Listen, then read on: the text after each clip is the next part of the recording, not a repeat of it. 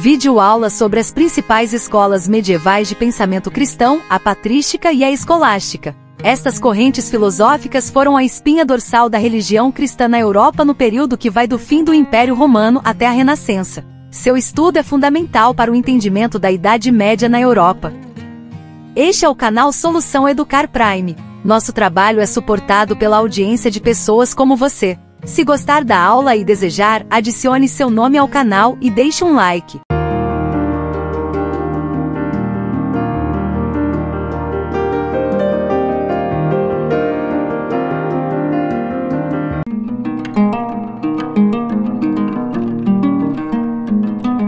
No início do século IV, no ano 313 da era cristã, o imperador Constantino Magno, através do Edito de Milão, tornou o culto cristão permitido em todo o Império Romano, mas ainda convivendo com as crenças pagãs.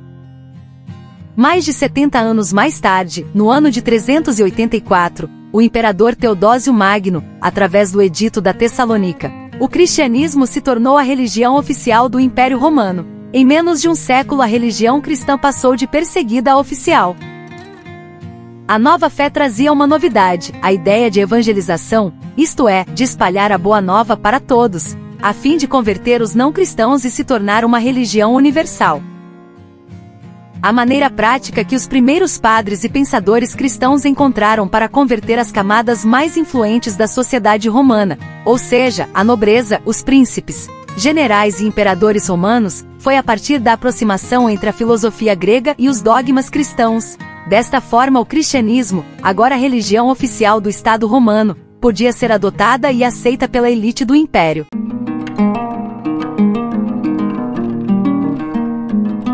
A filosofia cristã medieval se inicia com a patrística. Seu foco era a difusão do cristianismo na Europa e o combate aos não cristãos.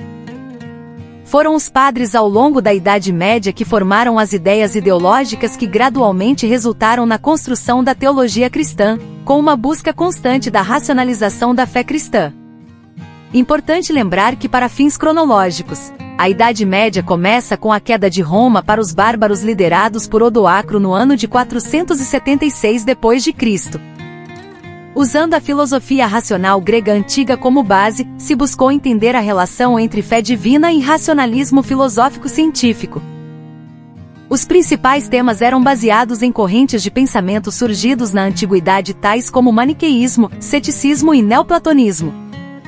Os princípios básicos destas correntes filosóficas são criação do mundo, ressurreição, encarnação, relação entre corpo e alma, pecados, livre-arbítrio e predestinação divina. O pensador que se sobressai no período é Santo Agostinho, de influência neoplatônica.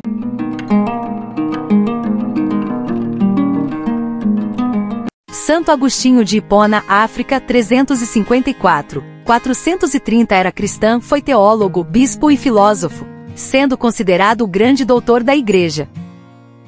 Acreditava na conciliação entre fé e razão para encontrar a verdade. Ou seja, fé e razão eram aliadas, a razão auxiliando na busca da fé, dentro do princípio de que a fé não poderia ser atingida sem o pensamento racional. Agostinho trabalhou no desenvolvimento dos conceitos de pecado original, livre-arbítrio e na concepção do mal como uma forma de ausência, um não ser, bem como na ideia de predestinação divina, esta última associada à salvação dos homens pela graça divina, Sob a influência do neoplatonismo, Agostinho convenceu-se da existência de uma realidade suprassensível, de um mundo espiritual, e acima deste de um Deus, verdade segura e luz imutável.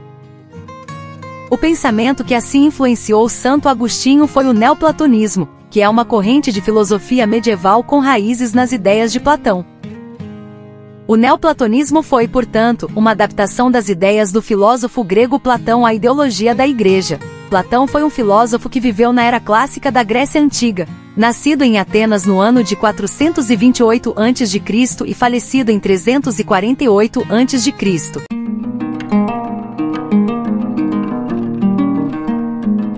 A escolástica é uma corrente de pensamento que tem início no século IX e permanece até o início do Renascimento, no século XVI. Incluiu pensadores como Bernardo de Clavaral, Pedro Abelardo, Guilherme de Ockham, entre outros.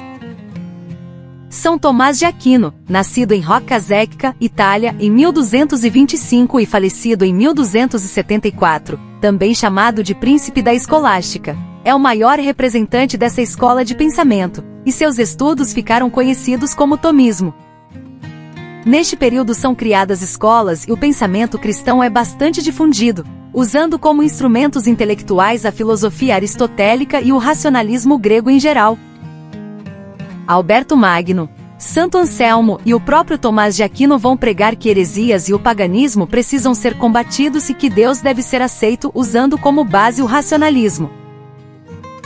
A filosofia era considerada a ancilla theologiae, que quer dizer serva da teologia, uma ferramenta para justificar e disseminar a fé cristã. Essa escola filosófica vai fechar o período histórico medieval em termos de escola de pensamento com os pensadores renascentistas já aparecendo no horizonte cultural da Europa, e que em breve iriam mudar toda uma forma de visão do mundo.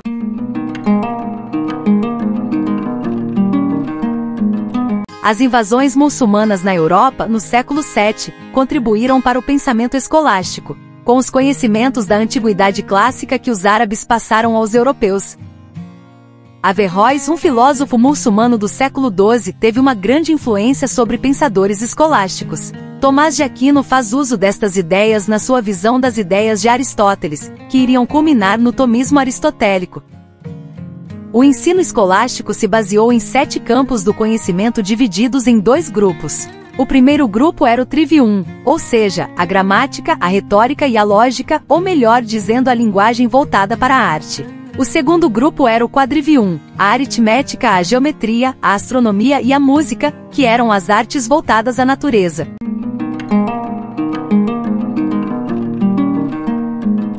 Tendo Aristóteles como base, Tomás de Aquino busca provar de forma lógica a existência de Deus, usando como base cinco vias, onde, de forma argumentativa, se coloca que Deus seria o princípio, o primeiro e mais básico princípio destas cinco vias se baseia no movimento, visto que em todo o universo há movimento.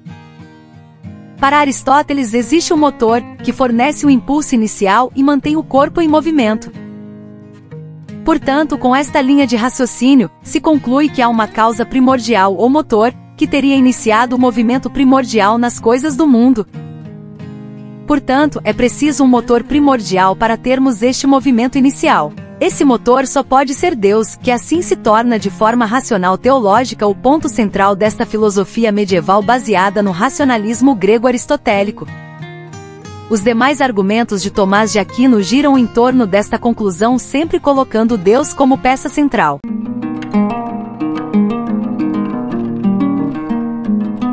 Embora o platonismo e o aristotelismo tenham sido as escolas preponderantes durante a patrística e a escolástica, houve contribuições de mais outras três escolas de pensamento: o neoplatonismo, o estoicismo e o gnosticismo. Os neoplatônicos afirmavam a existência de três realidades distintas por essência: o mundo sensível da matéria, o mundo inteligível das puras formas imateriais, acima desses dois mundos, uma realidade suprema. Os estoicos afirmavam a existência de uma razão universal ou inteligência universal, que produz e governa toda a realidade de acordo com um plano racional necessário, a que davam o nome de providência.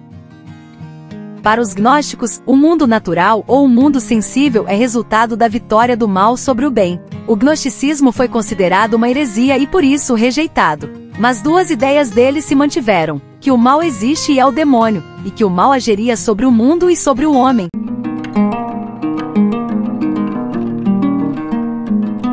A civilização ocidental se apoia sobre três pilares: a religião judaico-cristã, o direito romano e a filosofia grega. Para se entender as bases, portanto, da nossa civilização, é de suma importância entender as raízes ideológicas originais. A filosofia grega exerce influência sobre os outros dois pilares, principalmente sobre o cristianismo, que erigiu a fundamentação de seus postulados e princípios a partir das escolas filosóficas gregas, evitando que gerasse contradição entre si. Para que estes objetivos fossem alcançados, foi utilizada a racionalidade dos filósofos pagãos anteriores ao cristianismo, ocorrendo assim uma união entre a fé cristã e a filosofia clássica. Desta forma foi possível alavancar a conversão dos gentios ao cristianismo, usando como bases ideológicas a formação cultural e educacional das elites existentes. As escolas de pensamento medieval vão durar praticamente mil anos dando um importante suporte ideológico para o sistema feudal europeu e somente com o renascimento que se inicia no século XV é que começarão a ser desafiadas por novas ideias. Este é o canal Solução Educar Prime. Se gostou da videoaula, não esqueça de se inscrever para não perder as próximas videoaulas e deixar um like.